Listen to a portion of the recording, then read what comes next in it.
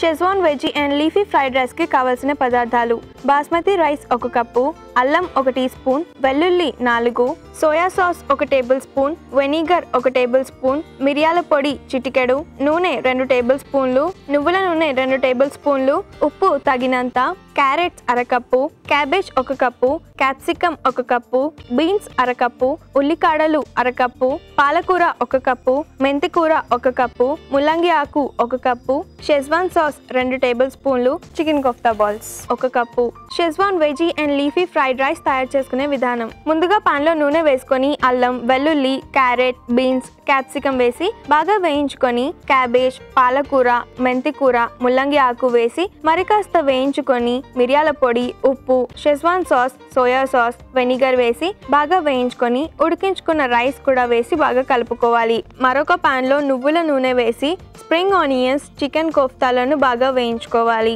చివరిగా సర్వింగ్ బౌల్లోకి fried rice మిశ్రమాన్ని తీసుకొని పైనుంచి వేయించుకున్న కోఫ్తా మిశ్రమాన్ని కూడా తీసుకొని సర్వ్ చేసుకుంటే రుచికరమైన schezwan veggie and leafy fried rice ready.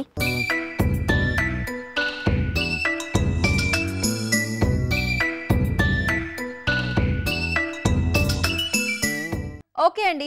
చూశారుగా మా వీడియో? మీకు నచ్చినట్లయితే మీ ఫ్రెండ్స్కి షేర్ చేయండి. లైక్ చేయండి. మా వీడియోని సబ్స్క్రైబ్ చేసుకోవడం మర్చిపోకండి.